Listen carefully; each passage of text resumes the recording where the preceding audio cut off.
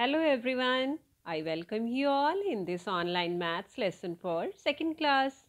Today we are going to do some multiple choice questions based on learning outcome exercises. Here is the first question. A shopkeeper sold pears in last 4 days as per given below. Here is a table with two columns. The first column shows the name of the day and the second column shows the number of pears sold by the shopkeeper on that particular day. And the question is, on which day were the least number of pears sold? And the four options we have here are option A is Monday, option B is Tuesday, option C is Wednesday, and option D is Thursday. Here we have to choose the correct option and put a tick mark there. Now let's solve this problem.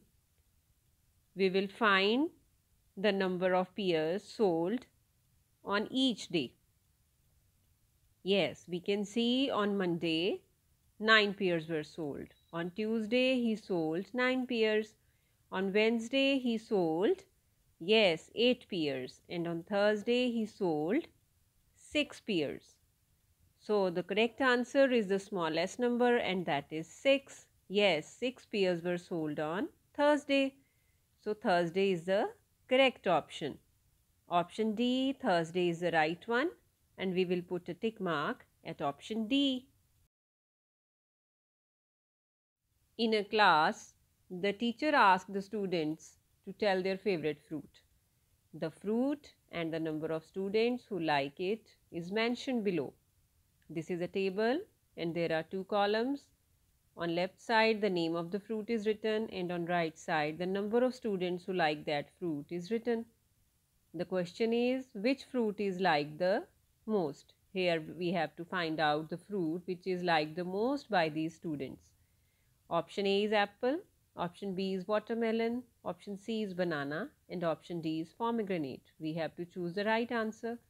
Let's count the number of students turn-wise. The number of students who like apple is 7.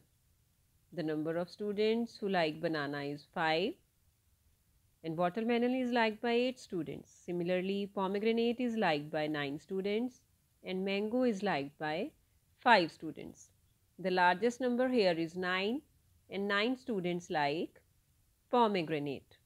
So, pomegranate is the fruit which is liked the most and option D pomegranate is the right option and we will put a tick mark there.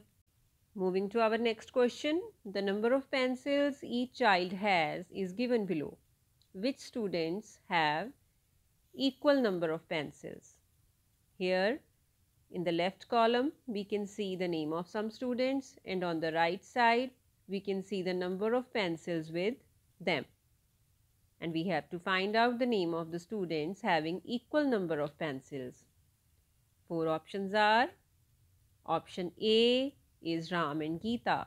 Option B is Ram and Sonu. Option C is Ram and Sham. Option D is Sham and Sonu.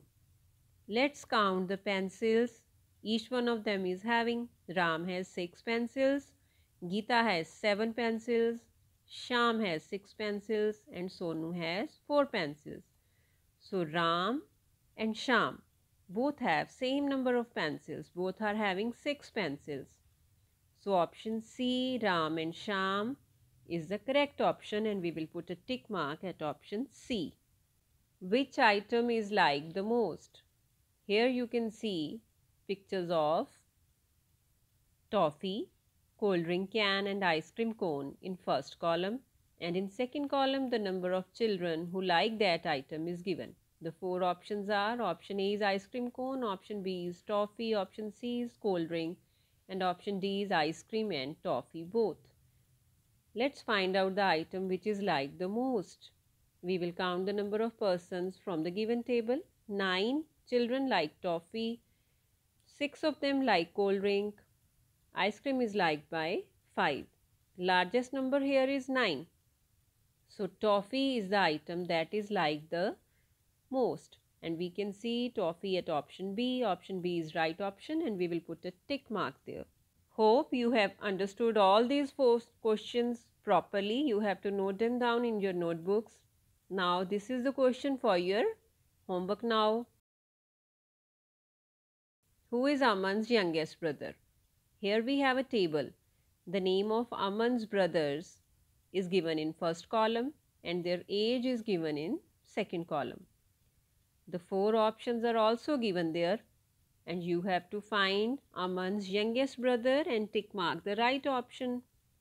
This is the homework and this is all for today. Stay tuned to your online studies. Take good care of your health. Thanks. Bye.